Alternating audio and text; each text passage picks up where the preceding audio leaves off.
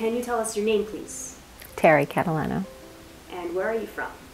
Mullica Hill, New Jersey. We had a musty smell in the basement and a little bit of mold um, just on the ceiling in the crawl space. So wanted to get it taken care of. Were you having water issues in your basement before? Um, occasionally, not on a regular basis, but when we had big storms and the, the gutters would overflow and it would come down into the basement and sometimes we would have a couple inches down there.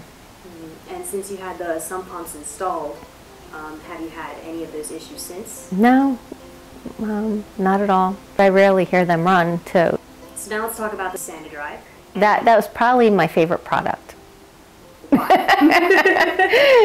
no more musty smell. It's, um, you know, uh, I like how it filters the air. The crawl space we had the, it was sealed. You had CleanSpace stuff. Yes.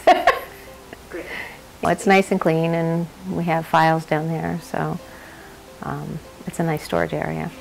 And tell us about your experience with Ian Gattuso. He was your system designer, right? Mm-hmm. He was great, very professional.